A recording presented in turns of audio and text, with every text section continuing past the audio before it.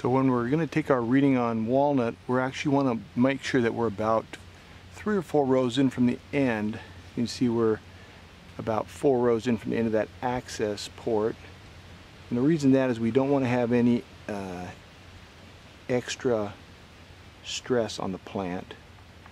And then what we're looking for is for a north facing shaded hardened off limb like this one that we have right here.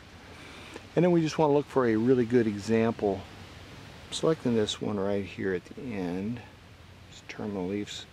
A good looking specimen with no bug bites and very healthy. And what we're going to do is we're going to um, put a foil laminate pouch on that leaf. We're just going to slide that leaf into this stem water potential bag.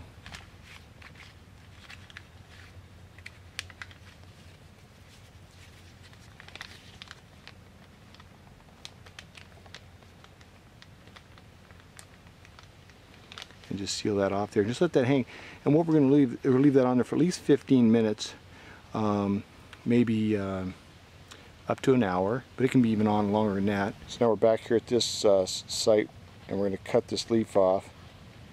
And all we do is just taking a razor blade and cut off that petiole, even a good amount to seal through the chamber lid. Sticking out, and now we're going to go straight to the chamber. All right, back at the chamber here, we're going to take and introduce the sample, the petiole, into the hole in the bottom of the lid.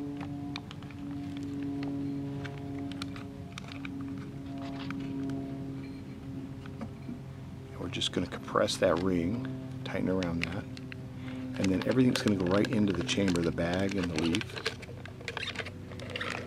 in the chamber. The chamber's locked into place. We're going to pressurize the chamber by the, using the control valve, put it to the chamber position, and begin to increase the pressure. And we're going at about half a bar a second.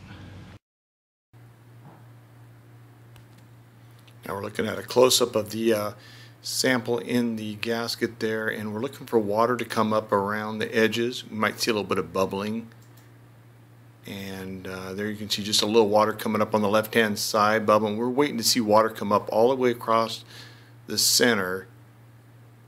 That will indicate the end point. You can start seeing that's coming and just right about there is, is where your end is going to be when that water comes right up the center. And we are right about five and a half bar.